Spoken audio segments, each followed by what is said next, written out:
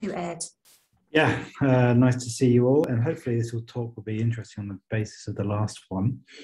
Um, so I'm I'm a geographer, and uh, so I'm coming at it from an interest, a long-standing interest in mobility data, and and also uh, with relation to health. So um, I'm going to cover a couple of uh, projects that we've been working on the last year and a half including one on mobility data.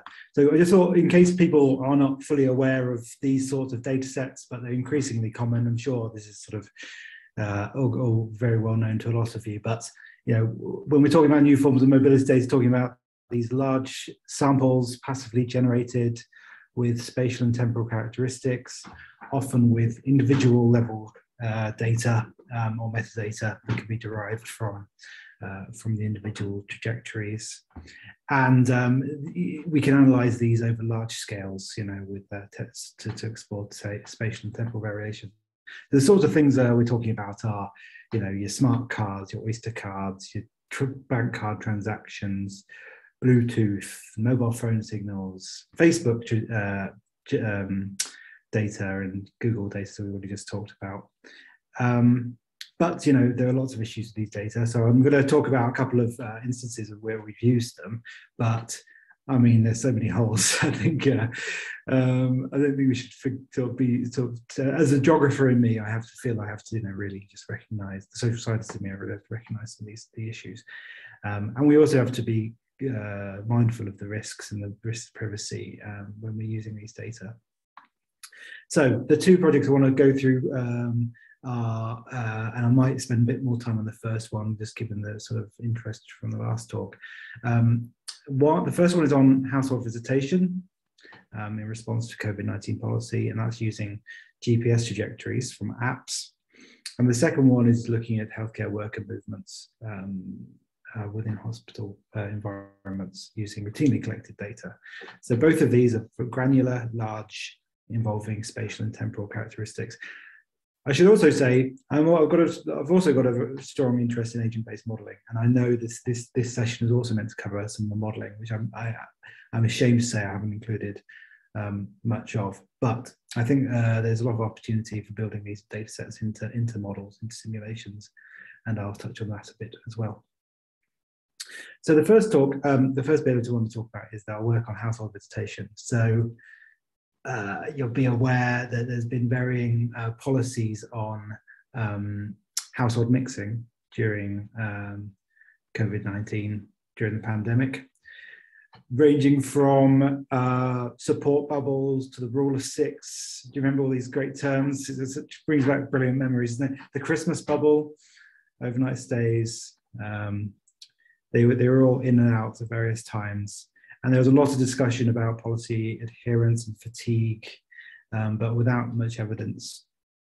Um, aside from um, surveys, which we all recognize have uh, issues with um, biases from desirability biases, social uh, self-selection biases. So there's been no sort of systematic analysis of visitation to other households and, um, and variation over space and demography and, and time. So that's what we've set out to do. The data set we've used is um, data from Cuebiq, who are a, um, uh, a company who derive, uh, uh, who collects app data from apps um, from consented participants who have apps installed on their phone. The data is collected, um, um, made available on their, their own, um, uh, what's it called, workbench and um, and it basically uh, enables you to um, work with the trajectory data, but not extract anything which relates to individuals or uh, uh anything at a fine scale. So it's sort of like a, uh, a, a, sort of an area where you can work, but obviously avoid um, or keep keep within some ethical bounds, which is quite useful. Um, so we we were able to basically analyze trajectory data, but extract data, the outputs on an aggregate scale. And um, so I've given a, a, a um, sort of a, this this sort of um, distribution is the sort of thing you might have for an individual. I've completely made up for just for full transparency. That's completely made up points I've drawn on onto PowerPoint. Um, but it gives you a sense of um, what you might have for an individual um, in terms of uh, any sort of data set like this, where you have a cluster of activity around a home location, a cluster of activity around a work location, and then a number of other clusters of, of, of points um, over time. And the, the, the, granularity of the Cuebiq data is such that uh, you don't, you can't really analyze anything very precisely in terms of a route. Um, you know, we're not, the data is collected much less frequently and um, really dependent on the device, on that, on the phone moving. Um, so we can we can analyze longer term um, activity, changes in activity, and movements to different different locations. And for this data, we have about a million users between uh, the 18 months of analysis that we've done. So to extract a household visit, what we've done is, is, is fairly simple um, uh, approach or a fairly standard approach is use dbScan clustering to identify home and work, uh, to identify visit points, and then to identify um, home and work locations, the most frequently visited clusters. We've then removed any um, any visit points that intersect with a point of interest, according to which is a definition from the Ordnance Survey. That point of interest could relate to a bus stop, could relate to a shop, could relate to um, many features in the you know many different features. Um, and we also removed any visit points in green spaces. So what we've done there is actually very discriminatory. So we've actually removed a lot of activity and uh, that will become quite important uh, later on. So the remaining points are validated as visits to households or residences by ensuring they're within a 50 meter buffer of address-based locations. And then the remaining sort of 11% of, of, of locations, stay points, um, I guess, in fields and so forth. Um, I know that's green space. Um, and anywhere else have been removed.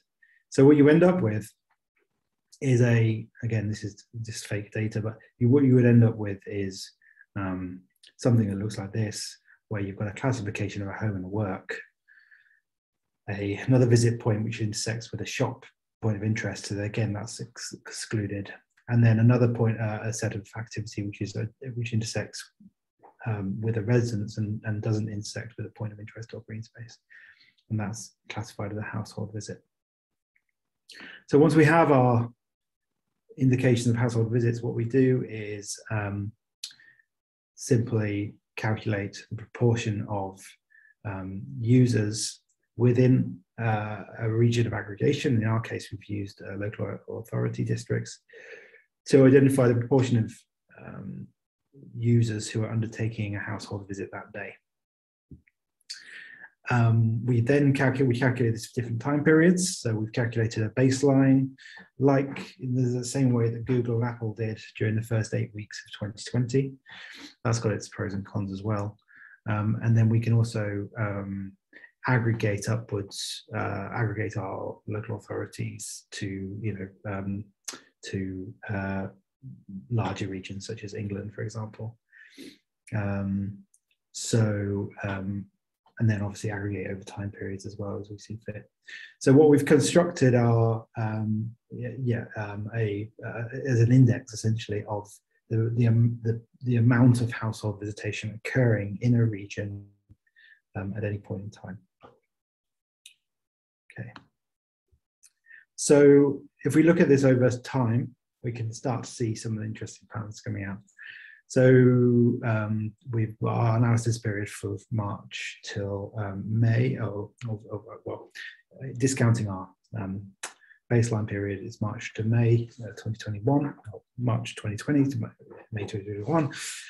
Uh, the grey um, grey areas are lockdowns, and um, I'm sure a lot of you will be familiar with the timelines. But um, you know, obviously, we see uh, prior to the lockdown, we see a large decrease in the amount of household mixing occurring, according to our data, and then it's slowly increasing over the course of 2020. What's interesting is that, that some of these, um, many of the the policy changes don't have a significant effect on. Um, uh, uh, on the on the change in behavior. It looks more like a sort of steady increasing, regardless of the uh, introduction of the support bubble policy or the relaxation on indoor mixing that occurred in July, or introduction of rule of six.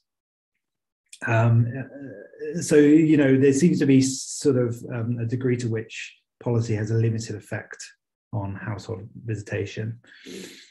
And then we also see in the second lockdown um, a reduced reduction in visitation than relative to the first lockdown, which probably twines with a lot of our own experiences of how well that was adhered to. We see stronger reductions in uh, around Christmas, probably likely due to the stronger uh, uh, regulations in around London southeast. And then we see, you know, a sort of lower level of activity around um, in third lockdown until we get to about mid-February. And it's interesting because this date here, where we start to see the ramp up of activity, coincides almost exactly with the date at which um, the vulnerable, um, forgetting the right terminology, but the first groups of um, uh, uh, vulnerable people were to be vaccinated, so the 14th of, of, February. And after that, we just see continuing increase in activity and household visitation um, through to the actual relaxation of indoor mixing uh, on the May 17th. So this also can be broken down by uh, over space. Um, we can look at over, over, over the whole period. What we see is um, some areas with higher levels of uh, generally higher levels of household visitation. London is very stands out clearly. You can look at it over different time periods as well, different lockdowns. When I said earlier about um, how we excluded some visits from our analysis, um, and being quite discriminatory there, we actually probably are underestimating the amount of household visitation in, occurring in urban areas due to the fact that where a house overlaps with a point of interest, um, we're not counting that as a household visit. So that that's you know going to be the case where there's a shop underneath a, a house or or a block of flats or where there's a bus stop outside the house. And these things are more likely to occur in denser areas. So um, we're um, we've been quite discriminatory there. And then we can start to see um, just clusters of just a bit more confirmation of the trends you can observe here, um, which show that, that London is um, standing out as a sort of uh, continuing to see household visitation. We can obviously break this down by different regions. We can look at um, uh, Leicester, for example, differentiated from Liverpool. Uh, Leicester's an interesting example because you had um, uh, extended lockdown, which did seem to have an effect. Um, but then there was, sorry, the, the, orange line here shows the Leicester trends, and then the grey line is the national average. Um, and then you see a sort of almost over uh, compensation of, of activity um, after that relaxation of that that local local restrictions. Whereas in Liverpool, you know, they had continuing issues with cases. Um, and um, various uh, and additional uh, measures, um, protection measures that went in in September. And you can see that activity was basically stayed very low compared to the national average um, during uh, during the last parts of 2020. Um, just to sort of emphasizing the effects from the what's happened in early 2021 in terms of um, uh, the effect of vaccine rollouts in different regions, um, the data that we were only able to get the, the vaccine data on a regional, uh, uh, yeah, regional level. But essentially, you know, we see what we'd expect is that as vaccine rollout did increase, so did the visitations to households in those regions. Um, and just to head off a couple of questions, representativeness, we did test for it. The data is pretty representativeness, representative um, in terms of the population, where the distribution of our users are. Um, this this work, this you know, at local authority level, um, we're seeing um, pretty good, um, uh, yeah, pretty good representativeness um, uh, with with a sort of slight oversampling in southeast and London. Um, although at MSOA level, we sort of reduce, we see re, sort of too many um, regions with no users in them. and then also just to also because we also mentioned Google data, Google obviously provide um, different types of activity. So they they were they were looking at you know, retail, grocery activity, parks activity, transit stations, workplace and residential. Their residential data is relating to uh, an individual's own residence. And so what we have is something quite different to that. Um, so you see at the bottom here, the res their residential level obviously increased uh, as um, you know during lockdown, whereas we've got something obviously um, different. Um, we also see interesting correlation, or correlation, you know, um, similarity um, at least between um, the, uh, the, the, the, household visitation activity and retail and, and, visits to, to other shops as well, um, including this slight increase as well in, in activity um, after uh, after the sort of vaccine, the initial vaccine rollout has taken place. So I think what this work does is add something new to the discussion around um, around policy and adherence, and uh, also emphasises some of the spatial and temporal variation in those those policies. Um, and um, I think um, there's a lot more we could do with this. We've been working quite a small team actually, and so um, interested to hear about anyone else's interest in this project because you know we can, can keep going actually with it in terms of our partnership with Cuebiq. Um, there are cautionary notes, you know, and, and it's sort of touched on right at the start. These data are only indicative; they're not descriptive necessarily of motivation. They may be biased. We're not quite sure of the biases either. We, we lack demographic data on the users. Um, but um, I think that there's a lot of uh, scope here for, uh, for, for, for further work. Um, and also, as I said, I think there is there's a role for these data in um, models certainly for informing visitation rates in, in any model. I, I'm I'm biased towards agent-based models, um, but uh, I'm sure any model would be happy to include. Uh, uh, well, maybe, maybe, it'd be interesting to hear how other people have modelled um, household visitation in, in in other models. Okay, let's see the time. Okay, so 15 minutes. Okay, so I'll try and do the, the next one's much more um, much more uh, uh, less developed, I suppose. Um, but I think it's interesting, uh, potentially, hopefully, interesting, uh, different approach. What we've done, uh, what we've done in um, UCL Hospital, is a project where we've been looking at healthcare worker movement. So, healthcare workers obviously been at big risk of catching COVID and also um, transmitting it to patients and colleagues within hospital environments. And our study has involved um, both the testing of, of staff and the tracking of staff around the hospital um, in order to develop a sort of better picture of nosocomial transmission within UCLH. And um, while we wanted to do something using new novel mobility data, um, included specifically Bluetooth beacons and, and tracking at fine scale within the hospital early in the pandemic came very clear quickly that we would never be able to get access to the hospital and no, no, no, no, no one really would want to go and put in beacons anyway. So what we've done is create a sort of fairly interesting, oh, I think it's interesting um, framework for collect, uh, using routinely collected data um, and to look at um, healthcare worker movement. Our bigger questions are about who's, out, who's at risk, what working practices and environments create risk transmission, and even estimating where and when transmission occurred. But we're still quite far from there. I just wanted to show you some, you know, really just give you the overview of what the data is and what it looks like. Um, and hopefully we'll have some results, interesting results in a few months' time. But um, they, the, the, the data sets we've, we've collated um, really revolve around the staff, as I say. Um, and for staff, we've collected data on their interactions with patients through electronic healthcare records.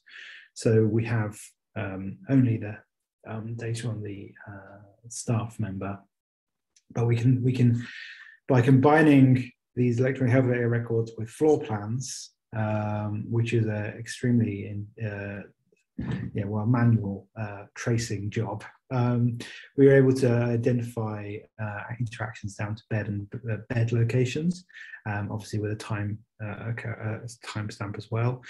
We can also combine that with um, card access logs, so where staff have entered doors and different access points and the times as well. We can validate this with the roster data, so the roster roster time, um, uh, the, the rostering uh, of staff, and then all of this comes around a sort of central index of electronic staff records.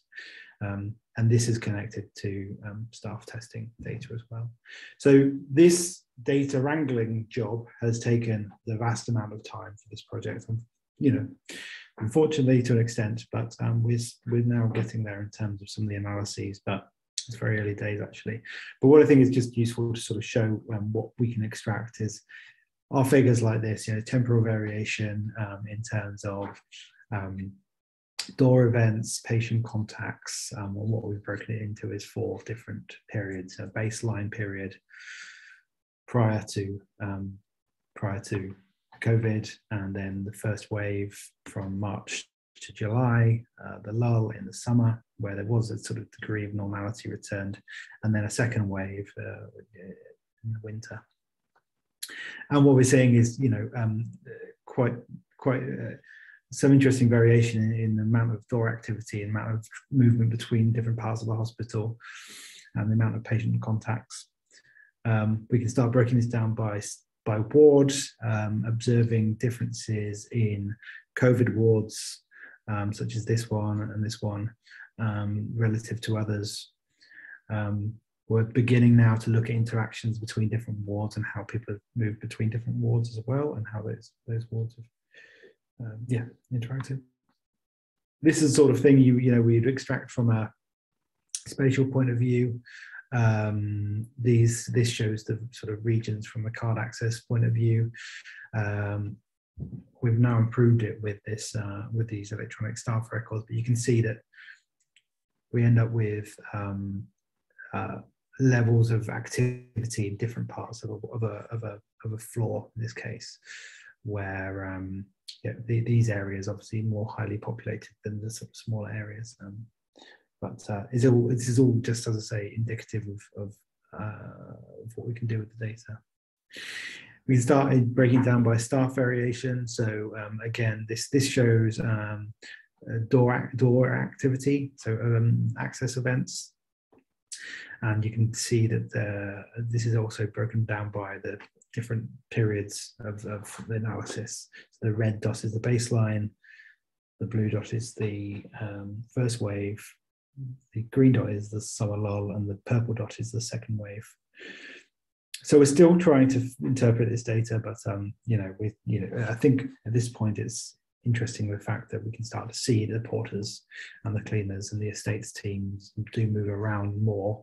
They they visit more doors than you know than than doctors and nurses do, which is at least um, face validity for for our for our data.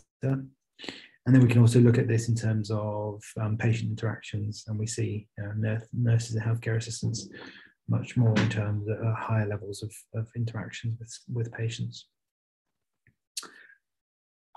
So this is this is now where we're going towards, and this is extremely uh, early work. But this was using some of the uh, testing data was to to model um, the uh, uh, the the factors that might result in someone testing positive, um, based on the two weeks prior the, the, the, their their movement behaviour uh, two weeks prior to the test, the positive test. And we've taken a um, a, uh, sort of DAGS approach to this, but um, you can start to see some of the things that occur which which are interesting and sort of confirmative of some of the other trends uh, we've seen in other papers. So that BAME staff are, are higher risk of testing positive. Um, there's the, the occurrence of, of higher numbers of COVID patients is again another factor. Um, and then we start to see other interesting things, you know, like like the fact that people on who are working night shifts are also more likely to test positive, and people who are eh, seeing more unique patients also um, seeing a higher likelihood of, of a positive test. But these are you know, early indicative works, and so I wouldn't take this as read, but I think it's just quite um, you know, just just really this this bit of work is to show that what, what's possible really. So um, so yeah, I think I think is I think the point is we can use mobility trajectories to highlight behaviors in hospital contexts, almost taking a, a mobility um, data point of view to a smaller scale uh, context. And they can provide indi- indications of, um, of different types of behavior, although still questions out, are outstanding about the production of the data, interpretation of data. We've been on site, we've done our own observation studies, but we still do lack some of that insight. And we are linking this this data to simulation, so we're actually building a COM-B model of um, social distancing within an agent-based model. And then I think we're in an opportunity obviously to add in um, um, other data. But I'd also, I'd also, you know, this disclaimer is that you know we spent a lot of time getting even to this point. Um, so they say data science is 80% wrangling data and 20% analysis, but this has been more like 95 to 99% um, wrangling or paperwork. Um, but uh, so if anyone's interested in, in this data and uh, has ideas, we can we can sort of, sort of talk about uh, collaborations as we it's, it's quite an interesting case anyway. So uh, there's some acknowledgements on the left. Um, the, the, RAs have been involved and the projects, um, as you can see, MRC, SRC, EPSRC, this is very multidisciplinary stuff. So um, I think that reflects what the approach we're taking. So thanks. Thank you very much, Ed, for a really, really uh, good presentation. Um, uh, now, I've got to look out for any hands, but we do have a couple of questions in chat. I don't know if you can see them, Ed, but the first one was from Samuel Brand. Um, he says, I've seen similar trends, for instance, drops in mobility slash visitation after measures than slow return towards or above Feb 2020 baseline. But measures fatigue is also debunked. So how best to understand the increases, Ed? So, I think the prob- yeah. problem here is that I put the question in before you had a slide up saying that this was like a next question, a next thing you want to answer. So I'm sorry about that. I guess that's the million dollar question of uh, which you kind of put up a slide immediately after I put the question on, go like, we can use this data to try and understand this question. So yeah, so sorry, I skipped to the end of it. Apologies. That's okay. No, no. Yeah. Um, well, thank, thank, thank you then. So um, it sounds like you were a little bit hasty there, Samuel. um, uh, we, we've got something from Gavin Long here. Uh, did you identify any correlations between increased household mixing and the number of COVID cases in areas? Yeah, it's a good question. I mean, this is the, this is all we not we haven't done actually, and this is the thing we we do need to get on and do. We, we it's a bit of a um, uh, capacity issue on the project, to be honest with you. And uh, and this is a, I think there's a lot of things we could do in terms of demographies as well. And um, uh, I think yes, there's basically a whole piece of modelling we could do still, but we haven't done. So um, no is the answer. All right, thank, thank you, Ed. Um, right, so um, before we break for sort of tea and coffee break, do I have any more questions? I can't see any hands raised, unless Maha can see them and I can't. But um, no, I can't see. Oh, Ed. Hopefully, yeah, just a brief one. I guess just on that operational side of things, I, thank you for that. That was a fantastic talk. And so just at the end, talking about trying to build in like the COM-B model mm. framework and then obviously the interdisciplinary nature of everything. It's yeah. in terms of like i guess developing building the team to be able to bring together all these components. I was wondering if your insights on just how long that's taken to have like the relevant expertise to get to that point. Oh. and i guess maintaining that i suppose maintaining that too. Yeah that's been very interesting. Um, so um, we are a really diverse team on the Safer project. Um, so it's involving, so Susan Michie is one uh, uh leading um, from a uh, sort of um, behavioral point of view. Um, then um, there's uh, infection specialists from UCLH. There's us who are geographers. So yes, it's, it's been um, it's been interesting. So we're still working on the COM-B model. I think um, yeah, I don't know what the I don't know what the right answer is. It's, it's challenging. Um, I don't know. Um, challenging sounds very appropriate. yeah, no, no, it's, it is challenging, but it's really rewarding. I think people, you know, I think what's been interesting for me is as someone who's coming from a mobility data point of view um, and you know agent-based modeling point of view is taking that sort of um, those sort of data and that sort of approach to the hospital has been interesting because people are just like, oh wow, didn't think about it this way, which sort of which is very rewarding, you know. And um, I'm almost waiting for someone to say, oh no, you know, this is this is not this is wrong um, you know for this reason this reason that you don't understand and and uh, but but no i think um, there, there definitely is opportunity for, for, different you know novel approaches to using different data and, and modeling approaches in, in those contexts and um and yeah i think it can be can be quite beneficial. Hopefully, it's going to be beneficial. I think some of the some of the results we're starting to get out of the data, in particular, is quite are quite interesting. I think there's it's a long way to go still. Thank you, Ed. Um, we are now into tea and coffee break time. Um, so I'd, if, if we can maybe just take one more quick question, if there is one. Otherwise, um, I would like to suggest that we all have a break now and resume at uh, 2.55 with our next talk.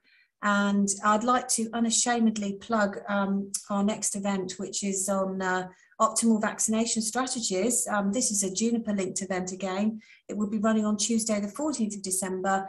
Um, and if you look on our website, you'll be able to find it. But I think perhaps my colleague, uh, one of my colleagues will drop the link into the chat for you. There it is, Claire, she's so efficient. Um, so please do register away if that would be of interest. So thanks again, Ed. I can't see any more questions. Um, that was brilliant. Thank you so much. Thank you.